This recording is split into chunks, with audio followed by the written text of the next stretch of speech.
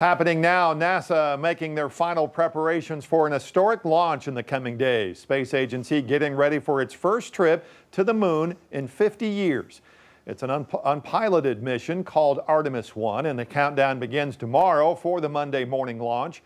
Skyler Henry explains the Artemis 1 mission and what's at stake.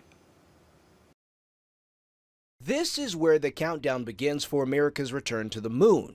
NASA's most powerful rocket ever is on the launch pad, ready for Monday's liftoff, an unpiloted mission called Artemis 1. It is absolutely breathtaking. Charlie Blackwell Thompson is the space agency's first female launch director. It's going to return our nation to the moon, and it is going to pave the way for our next steps in exploration. The flight is a $4 billion test run for the 322 foot rocket carrying the Orion crew capsule. With only mannequins on board, its 42 day mission will venture into distant orbit, then splash down in the Pacific. NASA Administrator Bill Nelson says the idea is to push the rocket to its limits. The test pilots call it pressing the edge of the envelope, and that means it's risky business. If all goes well, a future mission will bring astronauts to the moon's south pole for the longest lunar visit ever. The first landing to 2025 is going to be six and a half days. Eventually, we're going to have a habitable rover.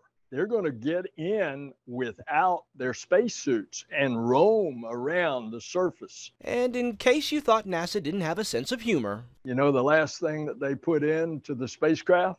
What's that? Snoopy in his astronaut spacesuit. And when we are in zero G going to the moon, you will see Snoopy right there in the camera. Back on Earth, more than 100,000 people are expected to pack roads and beaches near the Kennedy Space Center to watch the historic liftoff. Skyler Henry, CBS News, Washington. All right, here's a live look at the Kennedy Space Center where NASA plans to launch its first trip to the moon in five decades. Right now, the launch set for Monday morning, 8 or 7:33 our time. CBS Mornings uh, will have live coverage Monday right here on Channel 5. And